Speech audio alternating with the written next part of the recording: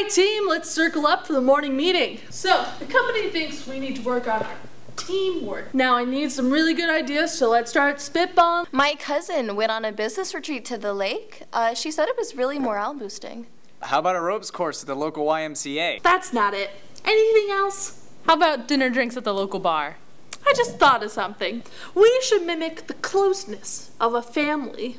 And you should all kiss me, just like you'd smooch your old papa. What the f?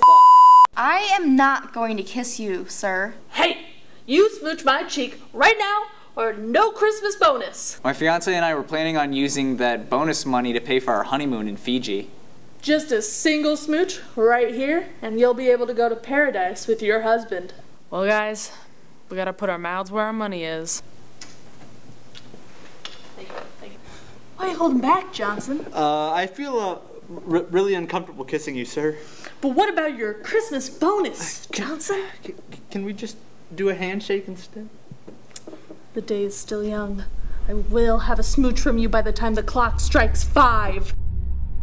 Getting your work done? Yes, sir. Oh, is that a check you made out to look like a Christmas bonus? Oh, this? Come and get it, Johnson. I will not kiss you, sir. I'm gonna call HR and get you in a lot of trouble. Thank God you're here. Of course, it's my job. Now, what seems to be the issue? It- It's my boss. She's uh, threatening to fire me if I don't kiss her. Okay, well, come on. Why not just give her a little smooch? Come on, not you too. See, Johnson? Even HR wants to kiss their papa. I told myself I'd get that sugar by five. You're not getting these sweet lips today, sir. Think about it, Johnson. You need me as much as I need you.